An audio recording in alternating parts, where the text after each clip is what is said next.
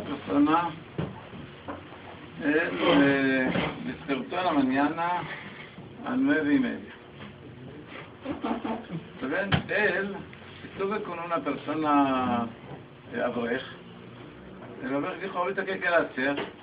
Dijo, yo tengo obligación de comer poquito. Dijo, ¿y qué fila que es? No, prohibido hacer fila. Necesita primero comer y después hacer fila.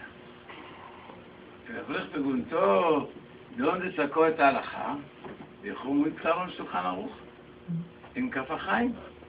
סימן פטה, ציב דד אסקריטו, וסונה דתנא אמברה, עושה, דיסה שולחן ערוך פועדת, כומר, איפודה אומה. כף החיים טרחו אליהו רבה. אליהו רבה דיחו, נו פועדת, פואדה, תלוליגציון וכומר. פורקי תלוליגציון וכומר, סינוק כומר, tiene hambre. Si tiene hambre, no puede hacer cabana en la tefila. Si no puede hacer cabana en la tefila, no es tefila. Entonces tiene obligación de comer. Sí, dijo quién? Capajaim, el anobo es de esa persona. Ahorita el abuelo dijo a él, אבל שלום לא dijo así. Solo que dijo, puede comer.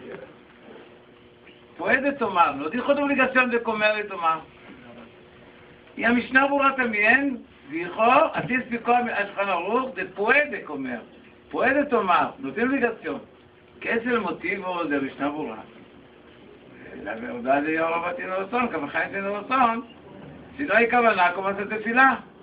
El motivo es así. Hablamos sobre personas común de nosotros. La mayoría de personas de nosotros, como es, hacer cabana la tefilá, pero regular.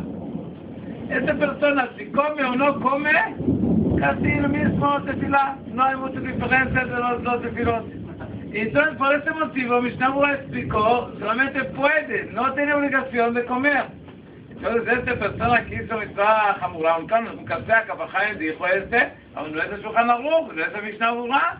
Entonces, la halajá solamente puede, no tiene obligación. No pesa ahorita es obligación de comer y tomar. Eh, Mishnah Burra es alajá como ellos, de solamente puede, no tiene obligación de comer y comer.